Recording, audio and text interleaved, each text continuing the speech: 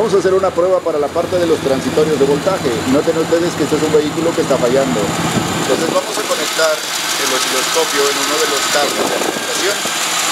La otra punta estará conectada a una buena tierra.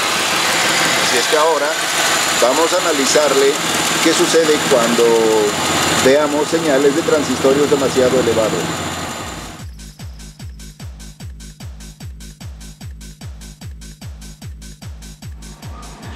Vamos a revisar los voltajes transitorios de un sistema de encendido.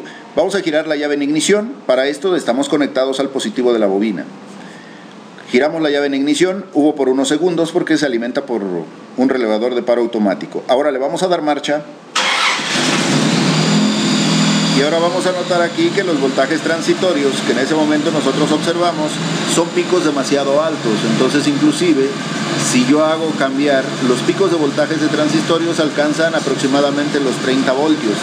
Eso me indicaría problemas respecto a la red a donde estén conectados otros componentes, incluyendo que pueda afectarse la red de comunicación.